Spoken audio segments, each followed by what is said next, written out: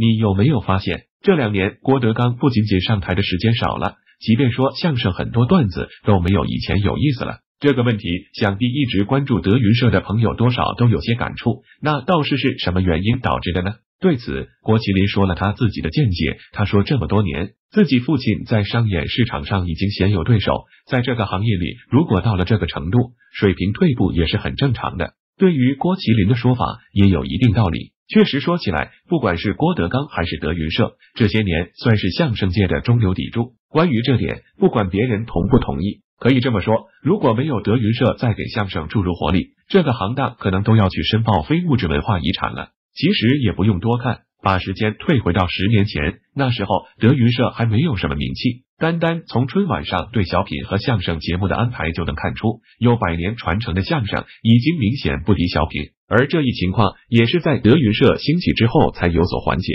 因此，平心而论，郭德纲对于相声的贡献是看得见的，而这两年他水平下降也是事实。郭麒麟说的那也是一方面的因素，除此之外，其实还有很多原因。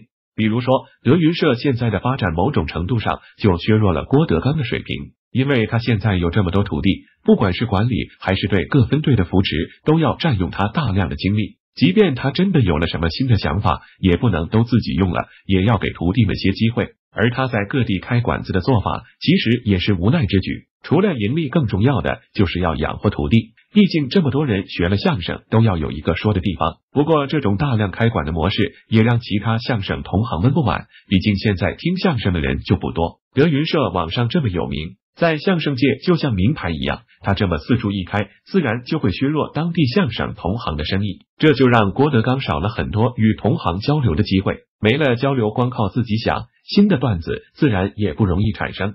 至于更深层次的原因，喜欢听相声的朋友可能也都有所察觉，即便再好的相声，听个三五次也就腻了。可要创作这么一条，郭德纲可能要打磨几个月，甚至一半年的时间。这样一对比，当然就会是产量不足或质量不高。而且多年之前，郭德纲经历的事儿多，他为了生活被关在玻璃房子里展览过。没钱的时候，生活中种种的东西都是以后能够写成相声的素材。正是因为这些东西，才能激起听众的共鸣。相声本来就是讲述一些生活中的小事。如今郭德纲身份已经大变，他现在接触的圈子、过的生活，说实话和我们听众已经脱节。所以，即便他觉得自己现在的新相声不错，也很难激起普通观众的共鸣。一个好相声素材的完成，需要大量的时间与精心的打磨。从他的完成就已经与现在求快的生活格格不入。也许郭德纲正是看到了这点，才在说相声的同时，把自己和徒弟们带入娱乐圈，至少这样能够让他们的未来多添一些可能。喜欢分享娱乐冷知识，欢迎关注。